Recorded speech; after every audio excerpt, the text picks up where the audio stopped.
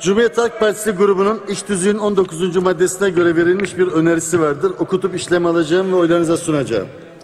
Türkiye Büyük Millet Meclisi Başkanlığı'na Danışma Kurulu 14.01.2020 Salı günü toplanamadığından grubumuzun aşağıdaki önerisinin iş tüzüğün 19. maddesi gereğince genel kurulun onayına sunulmasını saygılarımla arz ederim. Özgür Özel Manisa Milletvekili Grup Başkan Vekili. Öneri. Uşak Millet- Milletvekili Özkan Yalın ve arkadaşları tarafından ulaştırma elektronik takip ve denetim sisteminde esnafımız bakımından olumsuz yönlerinin değerlendirilmesi amacıyla 13.01.2020 tarihinde Türkiye Büyük Millet Meclisi Başkanlığı'na verilmiş olan meclis araştırma önergesinin diğer önergelerin önüne alınarak görüşmelerinin 14.01.2020 Salı günlü birleşimde yapılması önerilmiştir. Önerinin gerekçesini açıklamak üzere Cumhuriyet Halk Partisi grubu adına Sayın Özkan Yalın. Buyurun.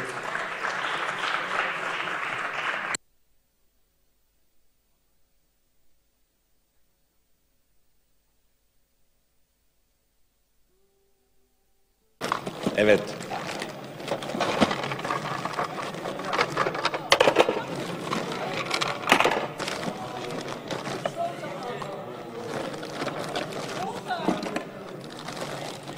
Sayın Başkan teşekkür ederim. Değerli arkadaşlarımız. Şimdi biliyorsunuz yaklaşık yılbaşından bu tarafa ben özellikle de bütçe konuşmalarında da konuşmuştum. Hayatımızı idare etme için en önemli sektörlerden birisi olan ulaştırma sektörünün sorunlarıyla alakalı. Biz bugünleri görüyorduk. Çünkü bu sektörün içerisindeyiz.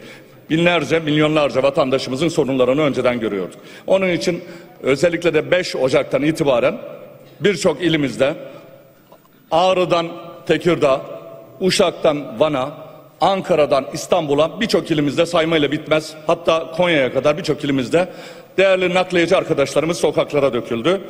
Yolları kapattılar veya belirli bir seviyede kapatmaya çalıştılar. Şimdi değerli arkadaşlar peki ne oluyor nedir neden bunu yapıyorlar? İşte buradaki sorun şu. Değerli arkadaşlar 2020 yılındaki bütçe açıklarını birilerinin sırtına yüklemeye çalışıyorlar.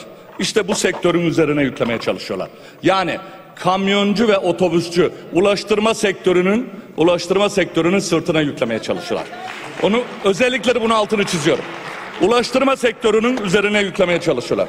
Değerli, değerli, e, değerli vatandaşlarımız bakın kamyoncunun ve otobüsüncünün üzerindeki yükler nelerdir? İlk önce bunu söyleyeyim hemen 30 saniyede diğer konuya geçeceğim.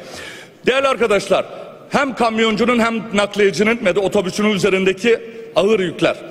Ehliyet, serece, psikoteknik, K belgesi, kasko, sigorta poliçesi, bandrol, tako muayenesi, egzoz muayenesi, fenli muayene, mazot, komisyon, garaj ücreti, trafik cezası, otoban parası, yemek parası, tamircisi, parçacısı, lastikçisi, banka kredisi, muhasebecisi, KDV vergileri, şoför sigortası, şoför ma- maaşı bu, bu, şekilde yaklaşık 50 kaleme kadar gidiyor.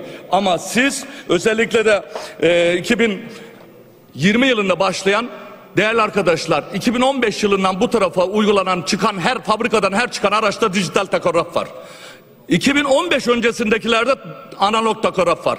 Avrupa uyumlarına göre 2015 öncesi hiçbir araçta hiçbir Avrupa ülkesinde ne Belçika'dan ne Almanya'sına ne Bulgaristan'dan Avusturya'sına Fransa'dan Hollanda'sına hiçbir ülkede 2015 öncesi araçlardaki dijital e, analog takograflar dijital takografla değiştirilmesi diye bir kanun yok. Bu sadece sizlerin uydurması, sizlerin bulması olan bir durum. Ben Avrupa Uyum Komisyonu Başkan Vekiliyim. Avrupa'da da nakliyecilik yapıyorum. Böyle bir şey yok İsmail Bey. Açık ve net söylüyorum. Olmayan bir şeyi siz vatandaşımıza yüklemeye çalışıyorsunuz. Yani bizim nakliyeci sektörümüzdeki vatandaşımızı, esnafımızı, ulaştırma sektöründeki otobüsçümüzü soymaya çalışıyorsunuz. Onun için olmayan bir şeyi burada uygulamaya kalkıyorsunuz. Ben bunun için söylüyorum. İşte bir araştırma önergesini bu sebepten koydum. Bakın biraz sonra hepiniz konuşacak. AK Parti'de konuşacak, MHP'de konuşacak, HDP'de konuşacak, İyi Parti'de konuşacak. Burada konuştuktan sonra bu araştırma önergesi oylanacak. İşte varsanız bu dediklerim yanlışsa 2015 öncesi araçlardaki analog takograflar dijital takografla değiştirilmesi mecbur diyorsanız Avrupa'da böyle bir şey olduğunu iddia ediyorsanız buyurun gelin komisyonu kuralım ve de bunun araştırmasını yapalım diyorum. Ama sizler birazdan tüm vatandaşlarımız izleyecektir, göreceksiniz bu önergeyi reddedeceksiniz. Otomatikman sizler zaten kamyoncunun üzerine yükü ağır olan kamyoncuya ve otobüsçüye daha fazla yükleneceksiniz. Özellikle bunu söylüyorum. Değerli vatandaşlarımız, Sayın e, İçişleri Bakanı Süleyman Soylu çok biliyor ya. Hatta kendisinin ulaştırma sektörüyle alakası yok. 6 ay uzatıldı bu veri bildirimlerini. Peki bu 6 ay gelmeyecek mi? Yani 10 Temmuz'a kadar uzatıldı.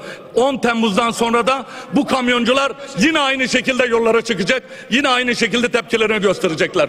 Çünkü altyapısı uygun değil. Bununla alakalı hiçbir altyapı yok. Veriler uygun değil. Bu şekilde veri vermeye yükü boşaldıktan sonra 6 saat içinde e-fatura veril, e, kestirmesine, kestirilmesine hiçbir altyapısı olmadan, gerekli hiçbir altyapısı verilmeden, bir eğitim verilmeden bu sisteme geçişin mümkünatı yoktur. Onun için bunun ke- kesinlikle en azından 31-12-2020 yılına kadar uzatılması lazım. Değerli vatandaşlarımız, şimdi burada e, bununla birlikte bitmeyen bir sorun daha var. Özellikle Sayın Süleyman Soylu dedi ki 10 Temmuz'a kadar biz uzattık. Peki ilk bir haftada binlerce vatandaşımız cezaydı, trafik cezası yedi bu sebepten dolayı. Bunlar ne olacak? Bir an önce Sayın Ulaştırma Bakanı'ndan ve de Sayın Süleyman Soylu'dan, İçişleri Bakanı'ndan Sayın Yalım sözlerinizi tamamlayın. teşekkür ederim Sayın Başkan. Diğer bir konu otobüsçülerimizle ilgili. Değerli vatandaşlarımız bakın çok fazla uzatmayacağım sadece son bir dakika. Bundan geçen yıl yani sadece 3-5 dört- e, 3-5 ay önce veya bir ay önce 2019 yılı boyunca B1 yetki belgesi alacak olan bir kişi veya bir firma 60 bin lira ödüyordu. Peki 2020 yılında ne ödeyecek? 250 bin lira. B2 bir yetkisi belgesi geçen yıl ödeyen bir kişi 25 bin ödüyordu. Bu yıl 180 bin lira. D1 yetki belgesi geçen yıl alacak olan kişi 30 bin lira ödüyordu. Bu yıl 200 bin lira.